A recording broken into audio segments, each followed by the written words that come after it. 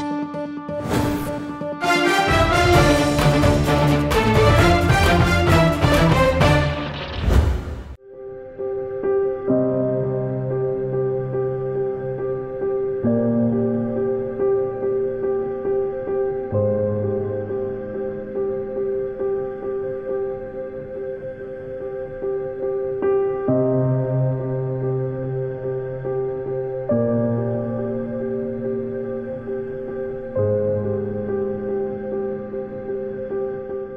La nici 10 km de centrul capitalei se deschide o altă lume, o lume în care luxul și civilizația lipsesc. Groapa de gunoi din localitatea Bubuieci este definiția clară a nepăsării autorităților, dar și a oamenilor. Mai trist decât mizeria care domnește în jur este faptul că în fiecare an groapa se extinde și devine un pericol din ce în ce mai mare de infecție.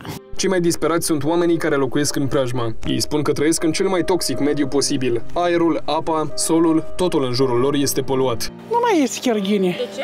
Dar și de murdărie vine în sat, nu? Cum poate fi bine? E bine miroase, ce puteți să facem noi? Și ne ajută nouă pentru asta că să iei mirosul de aici. Nu e prea bine cât am an înainte la căsile noastre acolo și școala e aproape, magazinul e aproape și nu-i prea, dar este destul. Ar trebui ceva de făcut, de îngrădit mai bine, să nu umbli câinii, probleme cu câinii avem.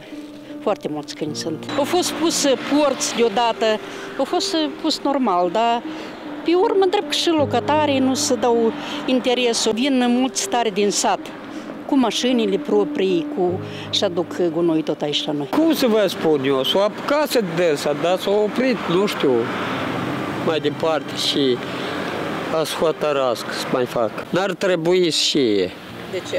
pentru că aduce o miroasă neplăcută. Ne deranjează foarte mult, e foarte rău. Întotdeauna la noi miroasă urât, nu-i plăcut deloc. Totdeauna, mai ales când plouă, noi ne-am mai prins, dar mirosul e foarte mare. Ne deranjează, este miros, în primul rând, urât. Nu e bine ca deșeul să fie ca în apropiere unde locuiesc oamenii. Solicitat de Realitatea TV, medicul igienist Tudor Puiu susține că pe lângă incomoditățile de trai, deșeurile sunt și o sursă permanentă de infecție. Potrivit legislației, primăria este instituția care ar trebui să controleze depozitarea și să reducă poluarea, să împrejmuiască zona, să sape în jurul gropii șanțuri pentru colectarea lichidului, care rezultă din fermentarea deșeurilor și să conceapă un sistem de evacuare a gazelor. Teoria este departe de practică însă. Oamenii condamnați să respire mizerie sunt răsplătiți cu tăcerea celor aleși să le reprezinte interesele.